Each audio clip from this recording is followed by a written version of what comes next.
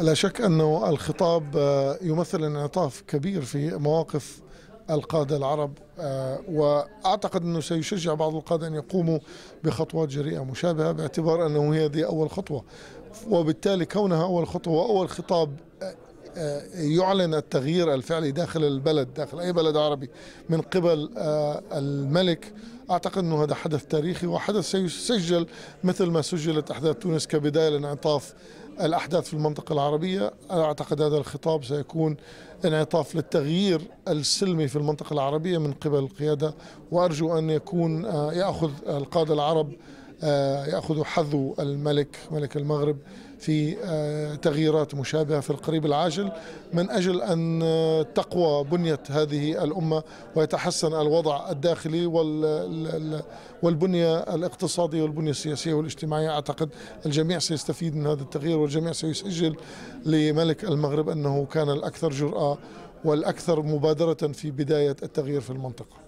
أنا أعتقد أنه على مستوى الإدارة سيكون هناك ترحيب كبير لأنه الإدارة الأمريكية الإدارتين السابقتين كانت تطالب بإصلاحات دستورية وإصلاحات ديمقراطية في الدول العربية وأغلب الدول لم تقم بذلك وهذا أول مبادرة يتم فيها إصلاحات فعلية. يعني كل المبادرات السابقة كانت شكلية وكلام أكثر منه فعل. هذا هذه مبادرة مهمة لأنه مبادرة تقوم بتفعيل التغيير والقيام بتغيير أساسي في أسس النظام الحاكم في أي دولة عربية. وبالتالي سيكون هناك ترحيب من الكونغرس الأمريكي كذلك وليس فقط من الإدارة ومن الهيئات المعنية بحقوق الإنسان في العالم وبموضوع الديمقراطية وبالتالي أعتقد أنه سيكون أثرها إيجابي جدا على المملكة المغربية. لا شك انه معظم الأنظار في المنطقة العربيه يعني متجهة على ثورات وعلى تغييرات نتيجة المظاهرات في الشوارع وبالتالي الاهتمام الإعلامي كان منصب على كل المنطقة ما فيها المغرب بكيف سيتعامل الشعب المغربي مع الانتفاضة التي حصلت في مصر وتونس والآن في ليبيا وفي اليمن. فلا أعتقد أنها مفاجأة لكن تغيير نوعي أنه جاءت المفاجأة من القيادة في المغرب بأنها قامت بالتغيير بدون أي ضغوط حقيقية في الشارع المغربي. وبالتالي هي موقف نوعي وتغير إيجابي سيثير علامات استفهام كثيرة في الإعلام الأمريكي وسنجد الكثير من المقالات الإيجابية التي ستظهر خلال الأيام القليلة القادمة ترحيبا بهذه المبادرة وسيتم المطالبة بالدول العربية الأخرى أن يكون هنالك أن يكون أو يتم هناك إجراء مبادرات أو خطوات مماثلة لما قام فيه به الملك اليوم في خطابه. فبالتالي أعتقد أن المطالبة ست تتركز على الدول العربية الأخرى بأن يكون هنالك تغييرات فعلية في المشاركة في صنع القرار من قبل الزعماء العرب في الدول الأخرى. بشامي ناشط سياسي في الولايات المتحدة في الحزب الديمقراطي. أعتقد أنه هذا الخطاب يعني يأتي في سياق الأحداث الأخيرة في العالم العربي وهي إن كانت تدل على شيء تدل على حساسية القصر وتحديدا صاحب الجلالة في تقييم الأوضاع ومحاولة معالجة الأمور بالشكل الذي يحفظ كرامة الشعب المغربي والذي أنا يعني من خبرتي وزياراتي الكثيرة للمغرب لاحظت هذا التغير بدأ ببدء عهد جلالة الملك محمد السادس. وأعتقد أنه التغييرات التي حصلت في الإحدى عشر سنة الماضية قد كانت ممهدة تماما لهذا الخطاب. ولهذا لربما البعض يعتقد بأنها تحول. أنا أعتقد أنه استمرار أكثر من من تحول. استمرار في نهج تقدمي إن صح التعبير لمحاولة الارتقاء بالشعب المغربي لما يصبو من أماني و وفرص للعمل وتقدم على المستويات الصحية والاقتصادية وكل. والعمرانية في المغرب وأعتقد أنه أنا أشعر وهذا رأيي الشخصي ولكن أنا متأكد من أن كل هذه الخطوات التي سبقت هذا الخطاب التاريخي تبشر بأن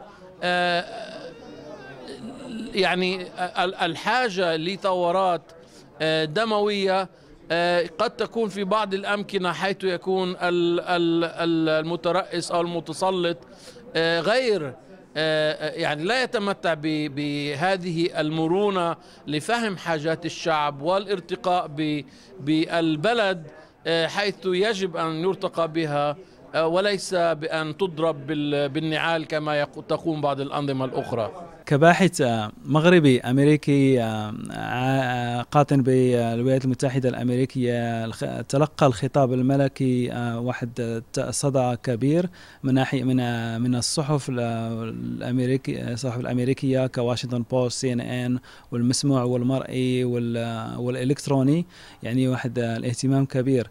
وجميع المحللين السياسيين والصحفيين والإعلاميين يقيسون هذا يعني الخطاب على نفس نفس القيمة التاريخية آه، اللي يقيسونها على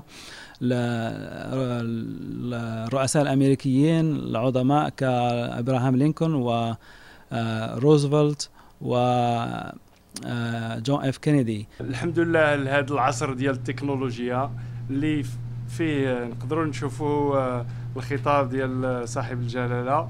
على في التليفون هاد العشية.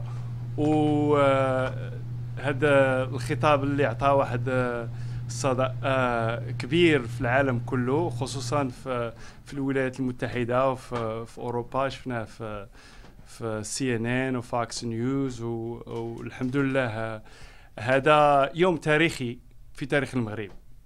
هذا يوم جديد وعهد جديد في المغرب. آه، ابتدأ يوم مارس 9 2011 نبغي نبلغ المغاربة كلهم أن كاين اهتمام في الولايات المتحدة بشؤون المغرب حيث أن جميع أصدقاء المغرب آه، عملوا اتصالات هاتفية وبأن الإعلام المغربي أنشر الخطاب ديال الملك على على الانترنت وعلى Fox وعلى CNN بأنه خطاب إيجابي.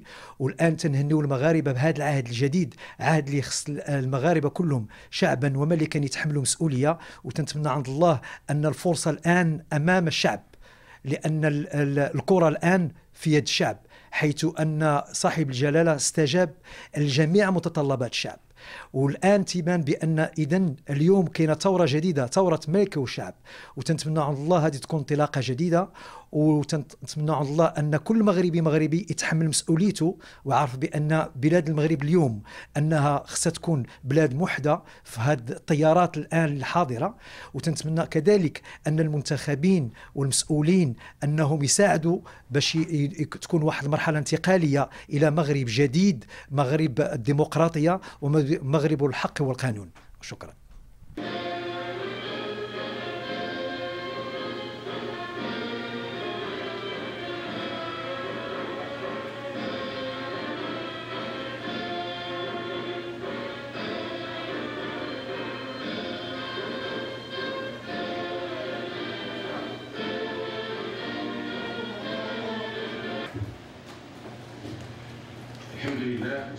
والسلام على مولانا رسول الله وآله وصحبه التي بتنوع روافدها وفي صلبها الأمازيغية كرصيد لجميع المغاربة. ثانيا تفسير دورة الحق والمؤسسات توسيع مجال حريات التربية والجماعية. وضمان ممارستها وتعزيز منظومة حقوق الإنسان بكل أبعادها. اليوم أنا جد سعيد بهذا الخطاب اللي سمعنا. آه، سافرت مدة ديال ساعتين باش نجي نتفرج في هذا الخطاب مباشرة. كان عندي إحساس بلي هذا الخطاب غادي يكون آه، واصل لمتطلبات الشعب المغربي ومتطلباتنا كاملين كشباب وكشياب وكمواطنين مغاربة في, العالم كله في بقاع العالم. والحمد لله تنشوف بلي صاحب الجلالة وصل المتطلبات ديالنا كاملة. هذا الشيء نفرحوا ليه بزاف. هنا كجاليه أمريكان نفرحوا ليه بزاف وتنحبوا نشوفوا هاد التغييرات بحال هكا كاينين. هذا الشيء طاري كامل في ال Middle East كامل طاري فيه التغييرات وفي بلادنا نحبوا نشوفوا بلادنا غادي نقدم للقدام ونوريهم أن بلادنا المغرب هو بلد غادي في واحد الطريق مزيان وبغيناه يكون مازال غادي في واحد الطريق مزيان. وهذه هذه مبادرة اللي دار صاحب الجلالة مبادرة مزيانة وتنشجعوه ونتمنوا ليه جميع التوفيق والشعب المغربي كامل جميع التوفيق إن شاء الله. بسم الله الرحمن الرحيم. آه غساد نشاهد آه جلالة الملك يسكن الخطاب في المغاربة فينا غلان المتحدة أمريكا ولا أوروبا ولا البلاد بعض الملاكين المراسم كانت نتشكر الخطاب اللي سكر غساد يعني يشكر الوقت نس. اللي غادي تبدل المسائل يبدل المسائل ديال الاقتصاد والاماميه والحكومات والمسائل إن شاء الله. كنتمنى يكون كل شيء بخير.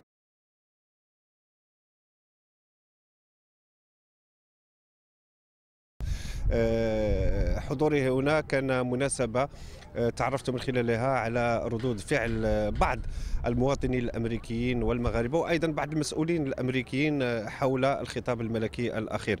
فيمكن القول بأنه جميع رؤى سواء تعلق الأمر وخاصة ما يتعلق الأمر بالمسؤولين الأمريكيين وبعض الكونغرسمان لاحظت بأن كانت هناك تجاوب كبير وردة فعل مهمة من طرف هؤلاء من خلال تفاعلهم مع محتوى الخطاب الملكي حيث أكدوا جميعا على أن هذا الخطاب هو لحظة تاريخية كبرى في المسار التاريخي للمغرب حيث اتضح بأن المغرب اليوم مقبل على مرحلة جديدة في تاريخه بحيث البعض الآخر تحدث على أن المغرب بصدد التحول إلى مرحلة ما بعد خطاب 9 مارس. آه، فهذا الخطاب اعتبره هؤلاء الأعضاء الكونغرس الأمريكي بأنه آه، نقطة آه، جد إيجابية بالنسبة للمغرب وأكيد أن تأثيرها سيمتد إلى باقي المنطقة العربية.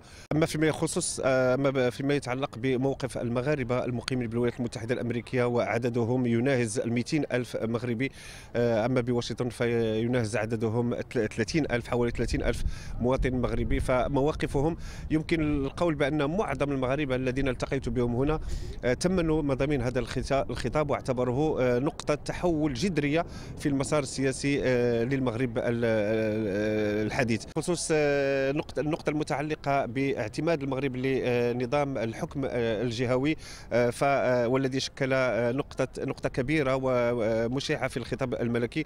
فقد تفاعل معها المغاربة المقيمون هنا بالولايات المتحدة الأمريكية وخاصة انها هؤلاء المغاربة يعرفون عن قرب أهمية النظام الجهوي في الحكم بحيث أن تجب الإشارة هنا إلى أن الولايات المتحدة الأمريكية تعتمد نظام الحكم الفيدرالي هو هو نظام جهوي ويعرفون الأهمية الكبرى لهذا النموذج في الحكامة وفي التدبير الشأن العام وهو ما سيعد أكيد بالكثير من النفع على المغاربة وسيؤسس لمرحلة جديدة سواء على المستويات الاقتصادية الاجتماعية والسياسية والثقافية أيضا.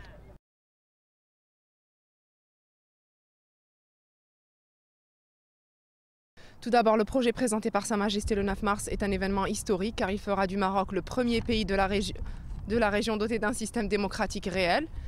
Euh, cette décentralisation permettra l'émergence et la création de régions dirigées par des instances locales dans lesquelles la femme marocaine aura une, place de premier plan, ainsi que le citoyen marocain, car il permettra de choisir son propre représentant. Sur le plan national, je pense que la, future constitution renforcera ce qu'a fait Sa Majesté depuis, depuis, son accession au trône, qui est donc créer l'égalité entre l'homme et la femme, tant sur le plan politique que social, afin qu'elle puisse jouer un rôle dans la définition et la création, donc réalisation de projets de développement de notre pays.